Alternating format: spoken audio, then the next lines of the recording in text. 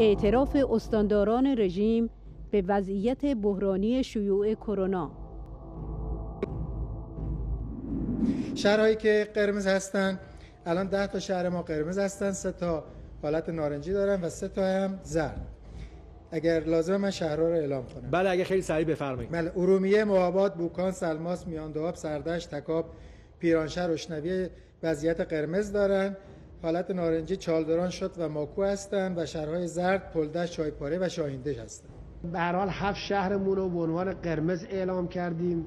از جمله خود بندر عباس که بیشترین دغدغمون هست.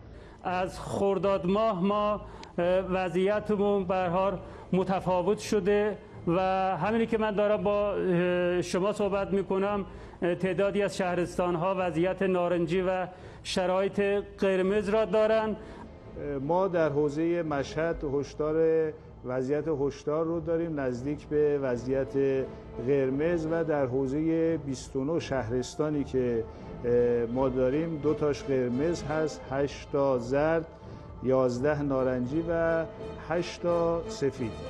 تا اواخر خرداد ماه تقریبا تعداد بستری شدگان و فوتی های ما روند کاهشی رو داشت به گونه ای که ما از سه بیمارستانی که در حوزه استان اختصاص داده شده بود به مبحث کرونا یک بیمارستان عملا بر حال فعالیتش رو متوقف کرد ولی متاسفانه از اول ماه جاری ما شاهد افزایش مراجع کنندگان و الان گروه سه و که آقای که هریچی اشاره کرد مهمترین نگرانی ما الان در مورد روستاها و شهرهای کوچیکی که هنوز ویروس چرخش پیدا نکرده.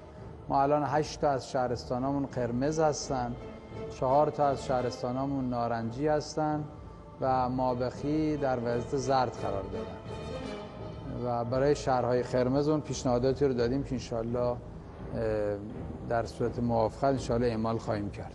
ما هنوز نگران البته خوزستان هستیم. در 15 روز گذشته شاید 12 13 روز و در بعضی از عناوین همه روزها از لحاظ این سه عنوان تعداد سرپایی تعداد بستری و تعداد بستری و تعداد مرگ و میر.